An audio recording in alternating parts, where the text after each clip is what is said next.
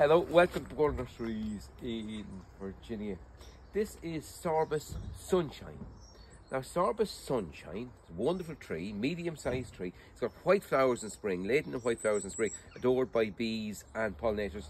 It's got yellow berries in autumn as well, and then a fantastic red autumn leaf. Totally hardy tree. It's perfect for an avenue situation. So you want a hardy tree on an avenue you want a tree left and right of an entrance just to frame an entrance going in or even left and right of your house just to frame uh, a house sitting in the middle. It's a wonderful tree because you've got colour both in spring and again in autumn. So white flowers in spring yellow berries in autumn. Now this one will take a couple of years to settle down to having its yellow berries.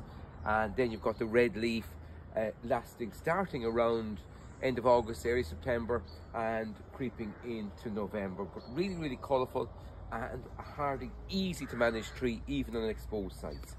This is the time of year to plant them. So you just plant them level the same depth as they are in the pot, so no deeper than that. Decent sized planting hole. Try planting fertilizer at the bottom. Don't forget you need a stake in there as well. Uh, and a little bit of Swellwell compost underneath and back in or and just plant them exactly level uh, same level as they are in the pot and you'll have a fine tree in your garden for generations to come so white flowers yellow berries and wonderful autumn leaf. Goodbye for now. Enjoy your garden.